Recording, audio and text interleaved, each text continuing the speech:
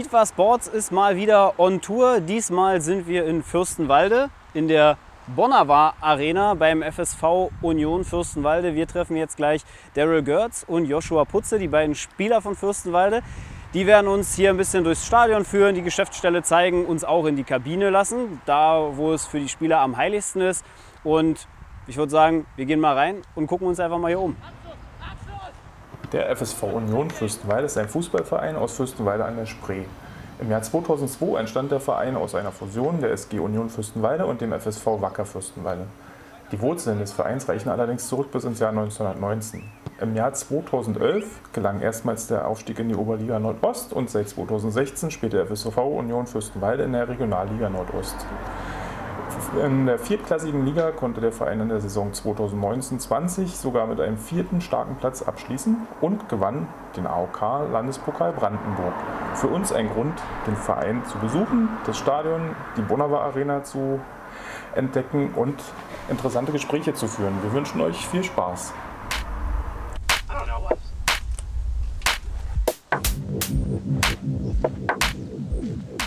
Hallo Jungs. Servus. Wir sind hier. So, jetzt stehen wir hier vor dem Stadion mit Joshua und Daryl. Und äh, ihr zeigt uns jetzt, wo ihr zu Hause seid. Wo fangen wir an? Direkt im Stadion? Ich würde sagen, wir gehen gleich ins Stadion, aber können kurz mal an der Geschäftsstelle vorbeischwenken. Können wir kurz mal reingehen und gucken, was die Leute da so am machen sind. Ne? Alles klar, dann gehen wir da kurz Hallo sagen. Schönen guten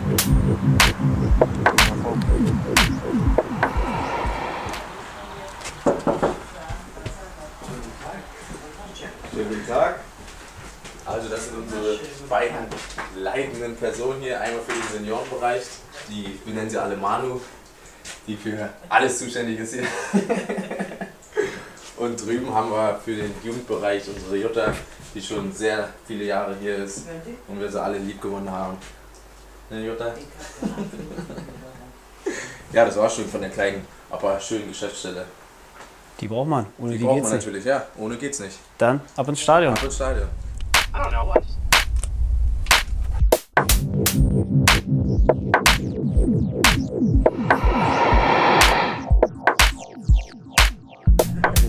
Stehen wir hier vor einem grünen Container. Klar, hier ist viel grün, die Vereinsfarbe.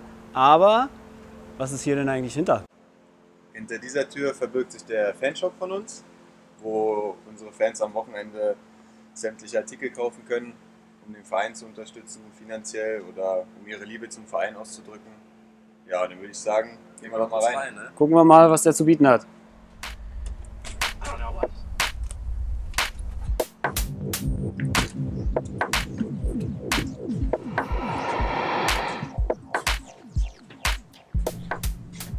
Ja, ist jetzt nicht der größte, würde aber sagen, klein, aber fein. Ne?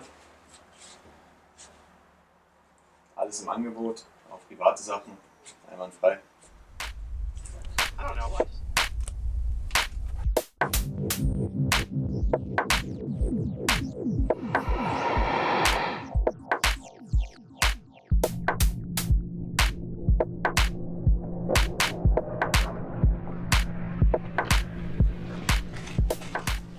Die Autogrammkarten hier, das ist eure kommende Meistermannschaft.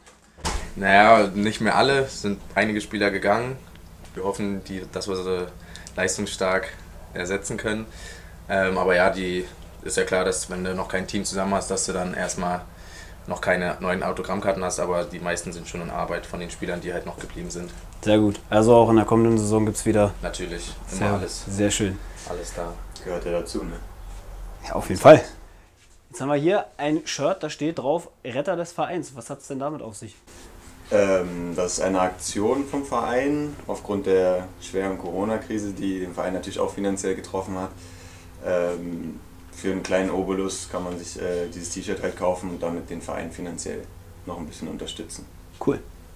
Gute Aktion.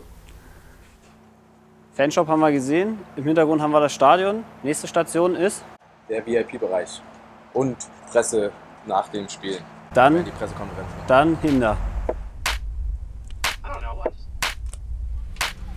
So, jetzt sind wir hier im VIP-Raum.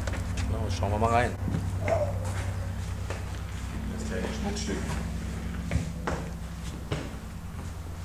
Sind wir hier im VIP-Raum. Hier tummeln sich dann die, die, die, die Geldgeber und die wichtigen Genau. Herren und Damen. Ja, ich sag mal die Sponsoren meistens und die Angestellten halt vom Verein.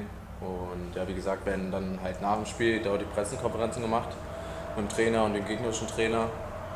Und ja, ich bin während des Spiels eigentlich auf dem Feld, deswegen sehe ich nicht, ob welche Leute auch vom, während des Spiels hier drin sitzen und das Spiel von hier aus zuschauen, aber ich kann es mir schon vorstellen. So, sollte eigentlich so sein. Ne? Dafür ist es gedacht, ja. Man hofft, dass die dann auch nochmal einen Blick aufs Spielfeld werfen. So sieht's aus. So, jetzt stehen wir hier direkt vor dem Heiligen Rasen. Und ich würde sagen, wir wagen mal den Schritt. Ne? Ja, dann überschreiten wir mal die heilige Schwelle. Zu unseren Heimspielen. Das ist das Stadion, wo wir unsere Heimspiele austragen. So manche Schlacht schon geschlagen haben, dieses Jahr auch. Ja, aber allzu viel wollen wir euch jetzt nicht verraten, weil später kommt dann noch unser Manager, der dann genauere Informationen dazu hat und euch ein bisschen was dazu erzählen kann. Dann werden wir den noch, noch aushorchen. So, wir sind jetzt hier mitten auf dem Heiligen Rasen und bei mir ist Sven Bethke, der Teammanager von Union Fürstenwalde. Und du, Sven, du erzählst mir jetzt ein bisschen was über das Stadion. Ja, also früher zu DDR-Zeiten war das der Trainingsplatz äh, der Zweitligamannschaft.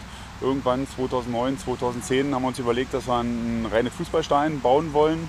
Äh, haben uns viele belächelt, weil früher eben auf dem normalen Platz mit Aschenbahn gespielt wurde und haben dann in dem Oberliga-Jahr 2012 die Haupttribüne gebaut äh, mit ein paar Sitzplätzen. Die grünen Sitzschalen äh, sind von Union Berlin, weil wir eben, ich sag mal, da noch eine Beziehung zu haben. Und äh, im Jahr 2013, Pokalfinale, haben wir dann den Gästeblock gebaut, wo wir dann im Endeffekt auch äh, ja, 1200, 1300 Gäste unterbringen können. Und ja, kleines Schmuckstück, relativ eng und äh, für viele dann eben auch schwer zu bespielen. Wir als äh, Verein finden es toll, weil eben wirklich äh, ja, unser Aushängeschild ist. Enge Stadien mögen viele nicht. Gastmannschaft Ja, nicht, genau, das wir als Heimmannschaft ja. sicherlich. Und äh, ja, als Auflage war dann vom Verband äh, in den letzten Jahren äh, eine Überdachung zu, herzustellen Mhm. und eben Flutlicht äh, zu be bewerkstelligen. Das Dach haben wir im letzten Jahr gebaut, äh, ist auch von der alten Försterei von Union Berlin. Haben wir dann mit relativ viel Aufwand und Eigenleistung äh, gebaut und jetzt ist die komplette Haupttribüne im Endeffekt überdacht. Jetzt in der Sommerpause und Herbst äh, kommt das Flutlicht. Das heißt also, dann haben wir äh, für die Regionalliga äh, ein ordentliches Licht und können eben auch Freitagabend spiele oder eben auch äh, am Mittwochabend spielen. Und äh, ja, freuen uns, je mehr Zuschauer kommen, desto besser. Und wenn dann, ich sag mal, das Stadion relativ voll ist, ist das schon eine schöne Stimmung hier. Wie viel gehen hier rein? Maximal? Ungefähr 7000. 7000.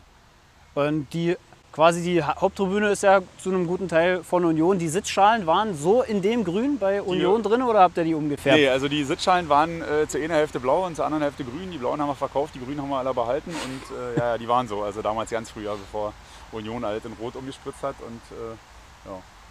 Also ein, ein Hauch eiserner Brauch hier Ja, ja. in Fürstenwalde.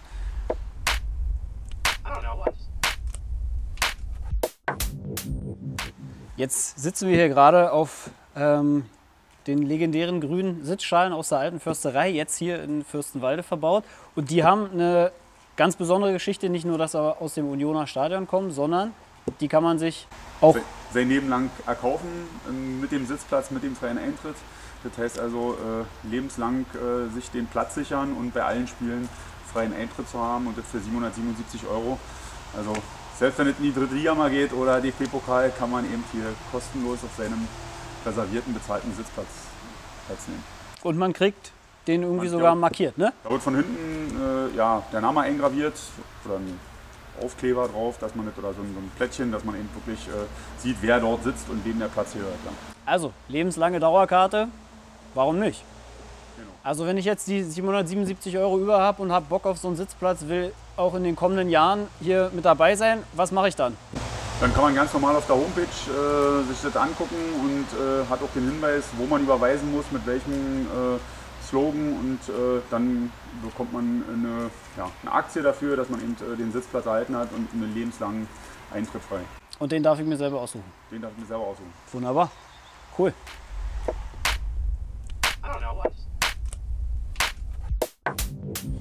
So, jetzt stehen wir hier vor der Sponsorenwand. Klar, Sponsoren, ohne die geht es nicht mehr im Sport. Du erzählst uns was, wen habt ihr als Sponsor und ähm, Wie, ist, wie funktioniert die Zusammenarbeit zwischen Sponsor und Verein bei euch? Ja, also mittlerweile haben wir 150 äh, Sponsoren, fast alle hier aus der Region, sicherlich auch ein paar weiter weg. Ähm, das sind die, die Haupt- und VIP-Sponsoren, die wir hier haben. Ansonsten äh, versuchen wir die äh, zu begleiten, äh, zu helfen. Die kommen öfter zu den Spielen, äh, haben einen ganz guten Kontakt, versuchen auch so ein bisschen äh, ja, Marketing zu machen und den, das Netzwerk aufzubauen, wo wir eben dann sagen, gut, die machen untereinander auch ein bisschen Business. Und viele Sponsoren schon seit 10, 15 Jahren dabei und kommen immer mehr dazu. Äh, selbst jetzt in der Krise war das so, dass wir also zwei neue Sponsoren äh, bekommen haben. Klar, logischerweise ein paar haben eben auch äh, gesagt, ein bisschen warten. Mhm. Aber äh, bis jetzt sind alle Sponsoren zufrieden, weil man eben auch in die Infrastruktur investiert hat, in den Nachwuchs investiert hat, in den Sport. Also alle zusammen, die eben auch uns Gelände kümmern und äh, die Sponsoren, glaube ich, ganz zufrieden sind mit uns. Okay, das heißt, also hier ist es nicht so, dass der Sponsor sagt, er kriegt hier seinen Werbesticker, pumpt ein bisschen Geld in den Verein, und das war's. Hier ist ein aktives Zusammenleben mit den Sponsoren genau. gewährleistet. Aktive Zusammenleben und dann äh, merken die eben auch, dass man mit dem Geld, was man bekommt, eben doch wirklich äh, sinnvoll umgeht, eben mhm. wirklich äh, eben doch in Steine investiert, in die Infrastruktur. Und das haben wir eben die ganzen Jahre schon gemacht und deswegen sind auch ganz viele treu und findet eben doch gut, wie wir das machen. Ja, die nächste Zeit steht auch an, dass wir so ein paar Partnerprogramme starten, wo eben äh, die Zuschauer und die Fans eben auch bei Sponsoren eben äh, bestimmte Vergünstigungen haben, da eben äh, die Zusammenarbeit äh, noch verbessern wollen und eben auch der Reinvest im Vordergrund steht. Okay, das klingt doch wunderbar. Das klingt doch nach einer großen Familie hier in Fürstenwalde. Jetzt noch die entscheidende Frage, ein Blick in die Zukunft. Wo steht der Verein in fünf Jahren und, oder beziehungsweise in zehn Jahren oder beziehungsweise wie sieht es hier dann aus? Also wir haben ja die letzten 10, 15 Jahre hier äh, viel in die Infrastruktur investiert und äh, wollen also die nächsten Jahre auch weiter ordentlich grundsolide arbeiten. Äh, ich sag mal, die Plätze weiter ausbauen. Joshi hatte schon gesagt, den Kunstrasenplatz bauen. Wollen hier nochmal zwei kleine Felder machen, wo man so einen Käfig hat und ein bisschen Fußballtennis ja, im Endeffekt trainieren kann. Äh, und hoffen, dass wir sportlich, ich sag mal, Top-Team der Regionalliga bleiben. Was dann danach kommt, das äh, ergibt sich dann automatisch. Das kann man sich nicht erkaufen und nicht erzwingen, geschweige denn kann man davon träumen. Aber äh, zum Schluss äh, wird grundsolide Arbeit immer irgendwo belohnt und das machen wir, glaube ich, jedes Jahr. Und deswegen war das auch eine sensationelle Saison dieses Jahr und gucken, dass wir so weiterarbeiten.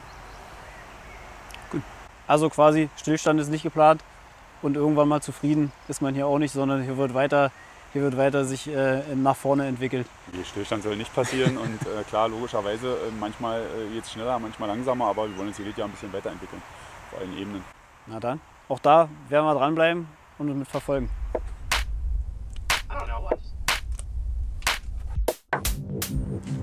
Jetzt hier die legendären Eistonnen, Per Mertesacker Gedächtnistonnen. Das sind die Per Mertesacker Gedächtnistonnen, ja.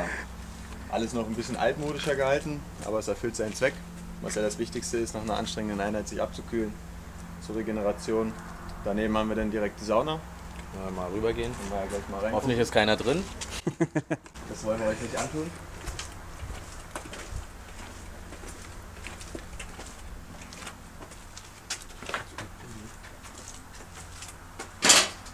Genau, das ist jetzt der Saunabereich, der halt auch nach dem Training offen ist für die Spieler, dass sie reingehen können. Bisschen zur Erholung, ist eher von den älteren Spielern besucht. Die Jüngeren halten noch nicht so viel davon, aber das werden sie, glaube ich, auch noch in den Jahren zu schätzen wissen. Auf jeden Fall. Und hinter dieser Tür gibt es jetzt ein bisschen Action für uns zu sehen.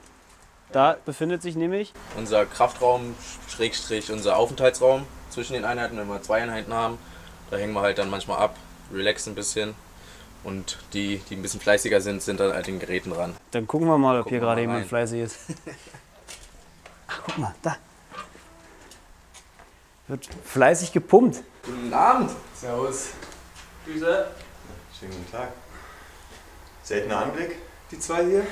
haben wir was, was ganz Seltenes zu Gesicht bekommen heute. Stellt mal vor, eure Kollegen, wer ist jetzt hier gerade am Pumpen? Ja, also einmal sehen wir hier unseren Teuter, David Richter, der seit zwei Jahren im Verein ist. Unser Stammtorhüter, der uns letztes Jahr in, einzig, äh, in einigen brenzligen Situationen gerettet hat. Und dann haben wir einmal den Johann Martinez, der da gerade die Gewichte stemmt, der seit einem halben Jahr da ist. Der ist letzten Winter gekommen. Und ja, ich glaube, seine zwei Saisontore hat er auch noch gemacht.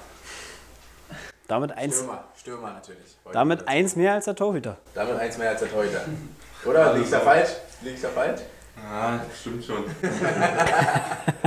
Sehr bescheiden, der Junge. Wenn man schon mal als Torwart ein, Torhüter, äh, ein Tor macht, dann kann man es eigentlich auch feiern, oder? Also Stimmt schon. Muss man auch raushängen lassen dann. So. Ein, zwei Scheiben zu viel drauf, wa? Es Alles ist die vorbei, die Kamera. Ist aus, die ist aus, kannst runterlegen. Zwischen den Einheiten wird dann auf dem Sofa sich ein bisschen ausgeruht. Ich sehe gar keine Playstation. Das hatten wir mal, muss ich ehrlich sagen, das hatten wir letztes Jahr da gehabt, hatten wir auch einen Fernseher gehabt, Playstation, aber da sie dann nicht mehr so oft benutzt wurde, haben wir uns gedacht, packen wir sie weg wieder. Äh, Der Fernseher steht jetzt bei uns im Physioraum drin. Da haben wir dann halt ein paar Sachen äh, am Laufen. Ansonsten stand hier mal eine Tischtennisplatte drin. Da gibt es eine lustige Geschichte dazu. Da haben wir auch gleich die richtige Person hier neben uns. Die hat er nicht kaputt gemacht, hat er gegengeschossen. Voller Wut, weil er mal wieder verloren hat. Aber naja, so ist das halt. Ne? Eine neue hat er noch nicht gebracht. Wir hoffen, dass es dieses Jahr Kommt noch. passieren sollte. Aber schauen wir mal. Solange die, aber die Dartscheibe, die hängt noch. Die hängt noch, die hängt noch. Da ist dann, da haben wir unseren Dart-Experten auch gleich. Ja? Das ist der, der eigentlich alle immer fertig macht. Aber ja.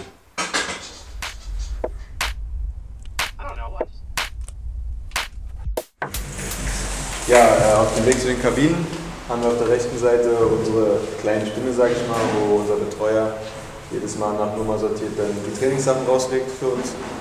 Frisch gewaschen natürlich, hoffe ich zumindest. ja, und dann am Spieltag liegt die Spielkleidung drin.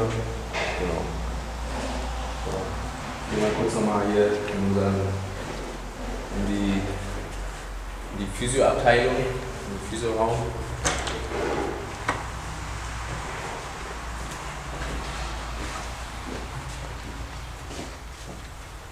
Hier wird getaped und geknetet. Genau, hier ist unser Physio am Werke, der die Spieler probiert so einigermaßen fit zu halten. Und mit den verletzten Spielern halt dann seine Sessions ab, abzieht. Genau. Wie oft liegt man hier als Spieler? Der wird ein bisschen öfter als der Rest. In der Regel so einmal. Nicht wahr?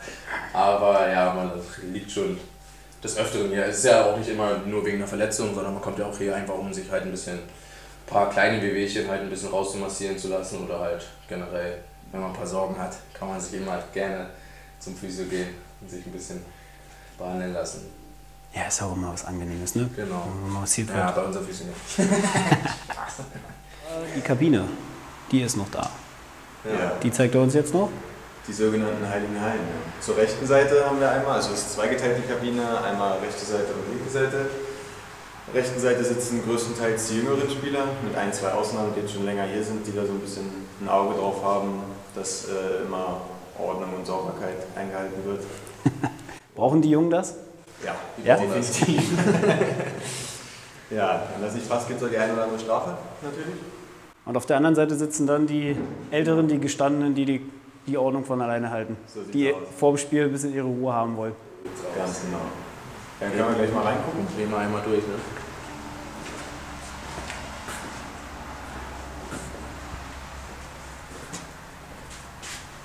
Ja, die Spinne sind nicht mehr die neuesten, aber sie erfüllen ihren Zweck. Hat eigentlich fast jeder zwei Spinde, würde ich sogar sagen. Also mehr als genug Platz, um seine persönlichen Sachen auch zu verstauen. Ähm, dann haben wir noch einen Kühlschrank, eine Mikrowelle für die Zeit zwischen den Trainingseinheiten, wo jeder sein Essen mitbringen kann oder sich warm machen kann, damit man hier nicht nochmal losschießen muss, sich irgendwas holt. Ja. Ja, oben sind die Schuhe. Mal ordentlich aufgereiht, extra für euch. Wie viel Paar Schuhe verbraucht ihr in der Saison? Boah, es ist unterschiedlich. Drei, glaube ich. Manche, manche spielen gern mit, mit alten Botten länger, auch wenn sie schon einigermaßen kaputt sind. Manche legen halt mehr Wert drauf, dass die Schuhe immer schön neu sind für ein Spiel. Ich zum Beispiel habe für, für die Spiele halt immer meine Paare, die ich halt nur bei den Spieltagen benutze. Boah, du musst dein Geld verdienen hier, ne? Wahnsinn. Mann, Digga, ey. ja, genau. Deswegen können wir halt, laufen wir einfach mal durch, dann sehen wir halt kurz noch den Duschbereich, der halt zwischen den Kabinen ist. Ist auch in dem einen oder anderen Spinn schon äh, die eine oder andere Beule drin, da wo er ein bisschen, nach, nach, bisschen, dem Spieltag, äh, wenn bisschen Frust dabei halt gewesen. Masse halten, ne? Aber deswegen ist ja gut, dass sie noch so alt sind, da kann man das auch rauslassen. Bei neun ist dann scheiße. Genau, jetzt haben wir hier den Duschbereich. Ähm, auch noch nicht so groß. In Planung ist halt in den nächsten Jahren, dass wir die Kabinen halt sozusagen eine große Kabine machen, dann halt auf der anderen Seite halt auch einen Duschbereich nur haben, dass wir halt auch ein bisschen mehr Teamfeeling haben, dass die Spieler sich halt untereinander alle sehen in den Kabinen. Und ja, aber es ist halt wie gesagt erst noch in Planung und hoffen wir mal, dass es in den nächsten Monaten, Jahren halt dazu kommt. ne? Genau, jetzt sind wir in der Kabine von den älteren Spielern. Äh, natürlich haben wir die drüben ein bisschen aufgeräumt. Eigentlich sieht man den Unterschied, dass hier die älteren Spieler sind. Aber ja, genau, wir sind halt die älteren Spieler. Ich kann euch auch mal einen Spind zeigen, damit ihr mal reingucken könnt, wie es halt so ein bisschen aussieht in den Spinden. Nimm mal dein, das muss Ja, dabei mal- So, so, das hier, so hier stehen. zum Beispiel. Ja, das gehört dann halt auch dazu, ne? Das ist halt immer noch eine Männerkabine, ne? Ja. So sieht's aus. Genau, jetzt haben wir halt hier, hier verwalte ich halt meine Schuhe zum Beispiel. Das sind halt dann eher die Trainingsschuhe hier unten und hier oben habe ich dann halt meine Spielschuhe, die ich halt nur für den Spieltag benutze. Also deine Schuhe sind jetzt hier oben nicht mit dabei. Meine sind nicht oben mit dabei, weil ich halt gerne meine Sachen alle bei mir habe und nicht verteilt in der Kabine. Deswegen eine Zwangsstörung. Genau, ich bin halt sehr ein ordentlicher Typ. Und halt hier haben wir halt einfach mal die Spielkleid, äh, Spielklamotten, ja, die Trainingsklamotten. Genau. Ja. Ich bin halt auch einer der wenigen Spieler, die halt mehr Spinde haben. Genau, vier an der Zahl, aber ja, wenn man so lange schon im Verein ist, ne, dann hat man halt auch ein paar mehr Privilegien. Und, und dann natürlich äh, die Lieblingsspieler und die Ach so, großen, genau. die großen Ja, ja. Vorbilder, die hat Das man ist- natürlich dann auch am Den Spiel. habe ich in der Saison lieb gewonnen, deswegen habe ich ihn aufgehangen. Hier sind noch ein paar Ex-Spieler, der vor ein paar Jahren hier war. Martin Zuraski, dann unser Torwarttrainer, der auch vor, ich glaube, lass mich lügen, drei, vier Jahren hier war. Marco Senja. Wie man sieht, hat er mal bei Hertha gespielt. genau. Und das ist das Werkzeug von Joshua. Da macht er immer vorm Training seine Schlagermusik an, die ich nicht gerne höre, aber was soll mir anderes übrig bleiben? Du bist der Kabinen-DJ. Meistens ja. Hat halt auch den besten Geschmack, ne, wie man auch an den Kleidungen sieht. Ne? Ist ja super. Ach, jetzt ist. Das ist halt dein guten Tag, wa? Was braucht die Mannschaft für Musik, um richtig heiß zu werden vom Spiel? Naja, ist ja unterschiedlich, hat ja eigentlich jeder was anderes, aber im Großen und Ganzen denke ich mal schon, geht es in die Richtung RB oder Deutschrap bei uns eigentlich. Und nach den Spielen dann gibt es ab und zu mal Schlagermusik von den ganz Älteren, wo wir noch zwei haben. Je nachdem, wie das Ergebnis ausgefallen Je ist. nachdem, wie ja. das Ergebnis Natürlich, ausgefallen ist. Also nach einem Sieg dann. So, jetzt waren wir quasi schon überall, aber wir gucken uns noch das Büro von eurem Cheftrainer an und Genau. schauen uns an, wo er die Taktiken Möglichkeit, Weil vorbereitet. er jetzt nicht da ist. Wenn er da wäre, dann würde er es glaube ich nicht erlauben, aber wir schauen einfach mal rein. Ne? So, sind wir angekommen. Gehen wir mal kurz rein. Auch ein kleiner Raum.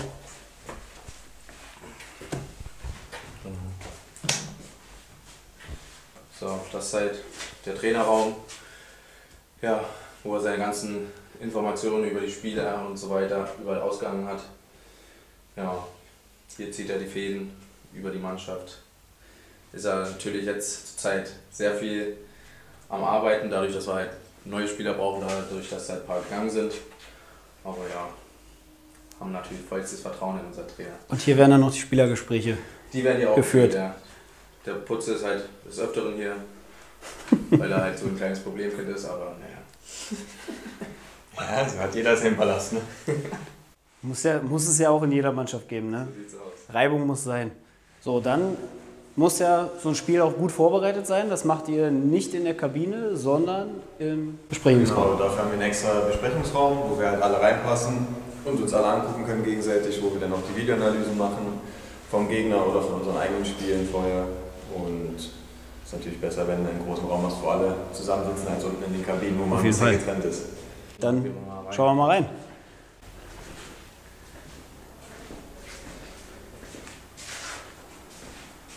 Genau, jetzt haben wir hier halt unseren, unseren Beamer, äh, wo halt dann die Spielanalysen äh, vorgeführt werden vom Trainer. Äh, die Takt Taktiktafel, wo er halt die Taktik vorgibt fürs, äh, für den Spieltag. Genau, ja. Und wir treffen uns halt nach, äh, vor jedem Spiel, wo er dann die Aufstellung ansagt und alles.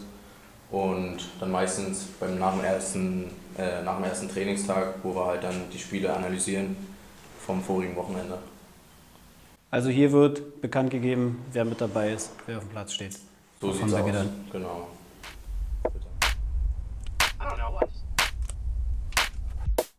Hinter uns ist das Stadion und hier wird alles das gelernt, was ihr da abrufen sollt. So sieht's aus. Unser Haupttrainingsplatz, wo wir eigentlich die meiste Zeit in der Woche verbringen. Äh, ja, hier machen wir unser alltägliches Handwerk. Probiert der Trainer uns alle Sachen beizubringen, die er so über die Jahre gelernt hat. Und genau, ja, so sieht's aus. Wie viele Stunden in der Woche verbringt ihr hier, wenn man davon ausgeht, am Wochenende Spiel? Ja, also meistens geht eine Einheit eine Stunde 30 bis zwei Stunden. Äh, und ja, von der Anzahl her sind wir so bei sechs Einheiten in der Woche. Genau. Aber wo halt es auch immer angepasst ist. Mehr, Bela- manchmal mehr Belastung, manchmal weniger Belastung. Freitags zum Beispiel haben wir immer frühs nur Fußballtennis.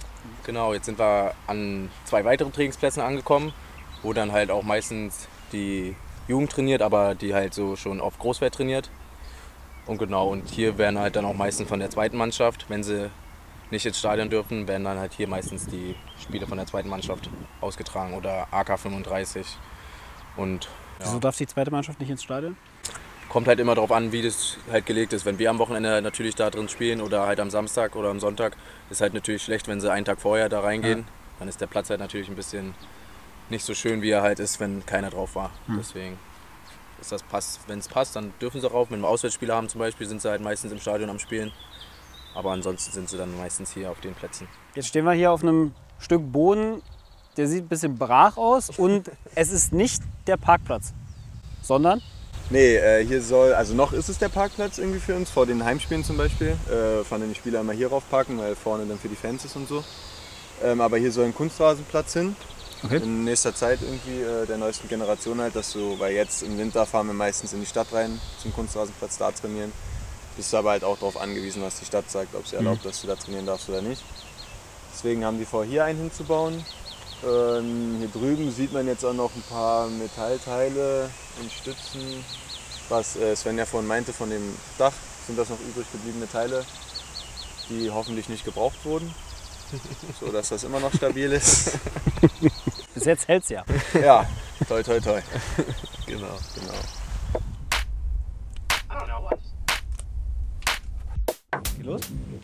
So, jetzt stehen wir hier vor der Nachwuchsarena. Die gab es damals, als du hier im Nachwuchs gespielt hast, noch nicht. Ähm, und Putzer hat sich ein bisschen verändert. Nee, du hast uns einen neuen Gesprächspartner mitgebracht hier. Genau, also wie gesagt, die gab es damals noch nicht. Es hat sich über die Jahre erst alles so ergeben, wo natürlich Frank, Frankie sehr zuständig war dafür, sich da sehr gut bemüht hat. Und ja, das ist unser Nachwuchsleiter. Und Frankie, ein paar Worte zu unserem schönen Nachwuchs. Ja. Äh, ja, wie gesagt, äh, ich bin hier seit zweieinhalb Jahren, knapp drei Jahren jetzt Nachwuchsleiter. Ähm, wir haben uns dem Leistungssport wieder angepasst. Heißt, äh, wir bieten hier leistungsorientierten Nachwuchsfußball. Wir bilden für Sportschulen aus, heißt für Nachwuchsleistungszentrum Cottbus und Sportschule Frankfurt, äh, wo wir Spieler hindelegieren. Und äh, wir haben natürlich auch nicht nur in in, in Spieler investiert, sondern auch in, äh, äh, in, in die Örtlichkeiten, äh, heißt Trainingsbedingungen. Wir haben eine Kleinfeldarena geschaffen in den letzten zwei Jahren mit Sitztribüne, die noch nicht ganz fertig ist. Da sind noch ein paar Sachen zu machen. Aber ähm, hier findet der Spielbetrieb im, in den Kleinfeldmannschaften statt, von den Bambinis bis zur, bis zur D. Und äh, wir haben insgesamt im Verein im Augenblick ähm, im Wettkampfbetrieb äh, 17 Mannschaften, davon zwei Mädchenmannschaften, eine Frauenmannschaft und äh, alle äh, Mannschaften von der A bis zur D spielen im Landesbetrieb, also äh, in, den, in den höchsten Spielklassen des Landes. Und ähm, ja, wir bilden, wir bilden aus. Unser Hauptaugenmerk liegt halt auf, äh, auf, auf der Ausbildung von, von Jugendlichen. Und die ist uns, denke ich mal, in den letzten zwei Jahren sehr, sehr gut gelungen. Wir haben in diesem Jahr insgesamt äh, neun Spieler zu den Sportschulen und Nachwuchsleistungszentren abgegeben. Und ähm, von daher ist die Arbeit recht erfolgreich. Wenn es für uns auch immer schwer ist, dann halt die Lücken zu füllen. Aber ähm, es ist halt äh, so im, im kleinen Bereich und wir hoffen halt, dass irgendwann mal einer von den Jungs dann es schafft, auch mal ganz oben anzukommen. Aber da müssen wir dann noch ein paar Jahre warten. Ähm, ab wann kann man hier in Fürstenwalde in der Jugend anfangen? Ab welchem Alter? Also wir bieten ja schon an im Bambini-Alter, das ist im Augenblick der Jahrgang zwei, ab 2014. Ja? Mhm. Äh, die ähm, sind hier im, in den spielerischen Elementen, äh, da ist sehr viel, ähm, ja, äh, sehr viel mit Ball und sehr viel ähm, Spiele und äh, halt Koordinationssachen. Ähm, da fangen die, die, die ersten Kids an, aber Leistungsfußball als solches äh, betreiben wir ab dem E-Alter, also das heißt ab, äh, ab zehn Jahre, wo dann halt auch regional die Besten im Augenblick äh, von, von anderen Vereinen zu uns kommen. Das heißt, äh, regional in den unteren Bereichen wird sehr gut ausgebildet in Storkow, wo wir letztes, äh, von den letzten Jahren sehr viel hatten. Bad Saro ist eine Hochburg gewesen, wo wir in diesem Jahr sehr viele E-Spieler äh, bekommen haben. Ähm, dazu gehört dann noch Rauen und alles, was so umliegend um Fürstenwalde ist. Äh, da schauen wir dann hin, sichten und äh, gucken, äh, dass wir diese Spieler dann letztendlich auch bei uns unterbringen, dass sie die Möglichkeit haben, mit den Besten zu trainieren und halt auch im Spielbetrieb gegen die Besten zu spielen. Wie viele Kinder und Jugendliche sind aktuell Circa im Verein? 350 mit Mädchen. Hm? Und du verwaltest die dann alles und Ja, koordinierst ich nicht, das alles? Ich nicht, nicht ganz allein. Ich habe noch die Jutta Wittlack, die äh, mir den ganzen Schreibkram abnimmt und die ganzen Meldungen fertig macht. Äh, ich bin hauptsächlich meistens draußen auf den Plätzen unterwegs, äh, schaue mir die Trainingseinheiten an, weil wir auch sehr viel Wert auf qualitativ hohe äh, Trainings äh, legen, wo wir dann halt die Trainer auch entsprechend ausbilden lassen. Also äh, auch das bezahlen wir als Verein. Und äh, wir haben äh, nur mal als Hausnummer, als ich angefangen habe, hatten wir einen Etat von ca. 25.000 Euro zur Verfügung für den Nachwuchsbereich. Äh, den habe ich in den letzten drei Jahren auf fast 100.000 Euro geschraubt. Okay. Also ähm, auch unsere Arbeit wird von den Sponsoren, äh, die regional und teilweise auch überregional kommen, von überregional kommen, äh, sehr gewertschätzt, äh, die äh, dann jedes Jahr auch wieder dabei sind und uns finanziell unterstützen, um halt äh, äh, auch den, den Nachwuchs dort zu fördern. Ohne die Unterstützung von außen geht's, geht's halt eben nicht mehr. Ne? Überhaupt nicht. Wo, wo soll es hingehen in, in den nächsten Jahren noch im Jugendbereich? Was sind da eure, eure Ziele? Was habt ihr euch ausgemacht? Naja, im, im, im Jugendbereich, also äh, Ziele sind erstmal die, die äh, Mannschaften halt wirklich in den, in den Landesbereichen zu halten. Und äh, da ist es so, ähm, dass wir bestimmte Jahrgänge, das heißt vor drei, vor drei Jahren, als ich angefangen habe, hat sich, hat sich ja erst diese Trainingsstruktur alles verändert. Ähm, da muss man jetzt Zeit gewinnen und muss sagen, ähm, in, den, in den Jahrgängen von 2005 bis äh, 2002 äh, äh, war die Ausbildung nicht so prickelnd, wenn wir es mal äh, human betrachten. Ne? Also äh, da fehlt doch einiges in den technischen Voraussetzungen, wenn man sich heute die Jungs anguckt in den Trainingseinheiten. Also da ist einiges äh, in der Jugend auf der Strecke geblieben.